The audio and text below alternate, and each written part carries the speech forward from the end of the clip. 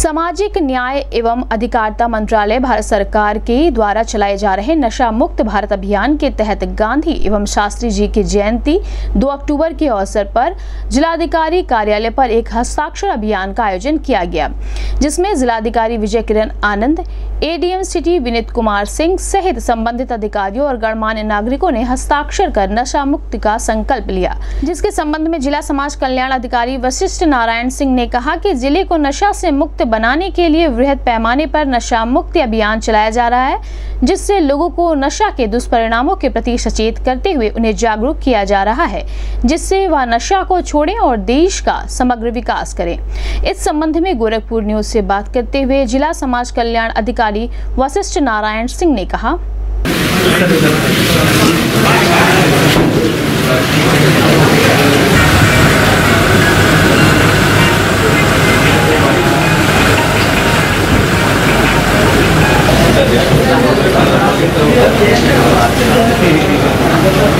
इधर से करना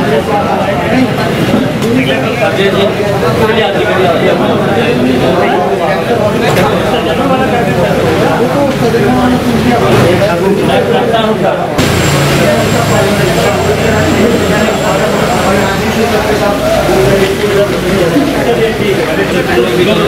हम लोग के लिए भी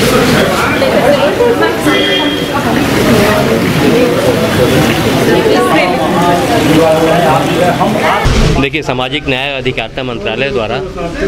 एक सर्वे कराया गया जिसमें भारत में बहुत से ज़िले ऐसे पाए गए हैं जहाँ पे नशे का काफ़ी बड़ा वो पाया जा रहा है, प्रचलन पाया जा रहा है। तो ऐसी दशा में भारत को नशा मुक्त बनाने के लिए इन जिलों को केंद्रित करते हुए एनजीओ की सहायता से एक नशा मुक्त भारत अभियान पिछले साल पंद्रह अगस्त से ये शुरू किया गया है और इस पर बड़े पैमाने पर जन जागरूकता के कार्यक्रम आयोजित किए जाते हैं। उसी क्रम में आज कलेक्ट्रेट गोरखपुर में जिलाधिकारी महोदय द्वारा हस्ताक्षर कार्यक्रम की शुरुआत की गई है और हम लोग कोशिश करते हैं कि देश में ये, अपने जनपद में भी ये कार्यक्रम अभियान सफल हो और बड़े पैमाने पर चले। तो निश्चित रूप से इसमें बच्चों में जागरूकता फैलाने की ज़रूरत है इसके दुष्प्रभावों के बारे में लोगों को परिचित कराने की ज़रूरत है और प्रोत्साहित करने की ज़रूरत है लोगों को कि नशा मुक्त से दूर रहें और स्वस्थ भारत का निर्माण करें।